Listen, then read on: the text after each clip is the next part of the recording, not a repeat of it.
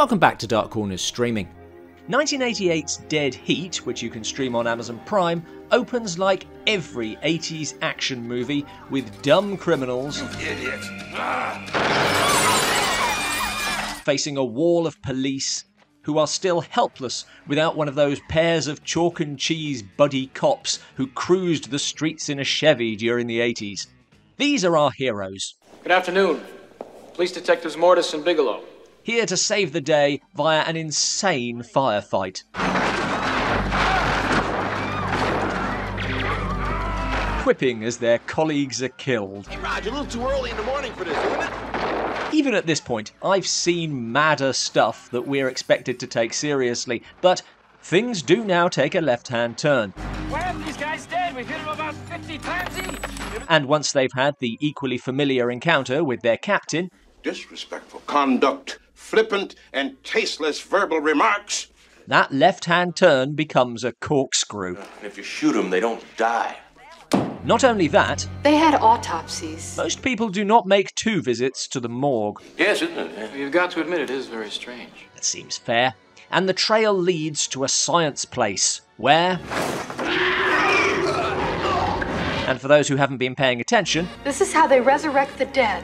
Which would seem to reduce the stakes to absolute zero, but Irreversible cell damage. You've got 10 to 12 hours tops. I don't know exactly what qualifies as a spoiler for this film, but basically, from here on in, this is Lethal Weekend at Bernie's crossed with Death Becomes Her. This is gonna be great. Although it's upfront about another obvious influence in the excellent 1949 film noir DOA, Sure, I can stand here and talk to you. I can breathe and I can move, but I'm not alive. which incidentally is also the source for Jason Statham's Crank. But while DOA is serious, Dead Heat is not. Oh, this is nonsense. And thank God. There is a lot in this film that would send it straight into regular dark corners. The blase attitude to the deaths of everyone but the stars. The sheer stupidity of their investigation. They don't go back to the science place until the end. What the hell is going on? At one point, Mortis says, The most important thing for me to do right now is to nail whoever did this to me. That would be you, you jackass. All this happens because you and your partner did something dumb. But the movie is saved by two things. Firstly, as I mentioned, it's tongue in cheek. And it does it right.